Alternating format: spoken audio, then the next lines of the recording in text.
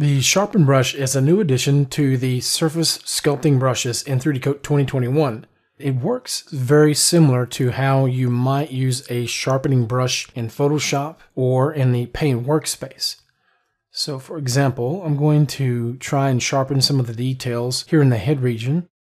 To do that on this model, I'll just hover over the part that I want to isolate and I'll hit the H key to select it. You can see it's selected here. And then I can zoom in Hold down the Alt key to isolate just that part.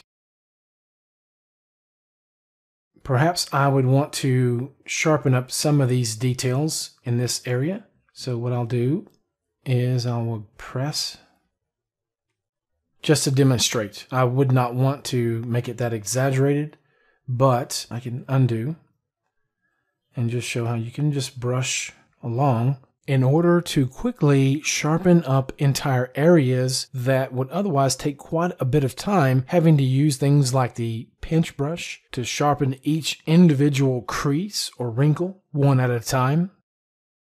So yeah, this can be a great time saver in certain situations.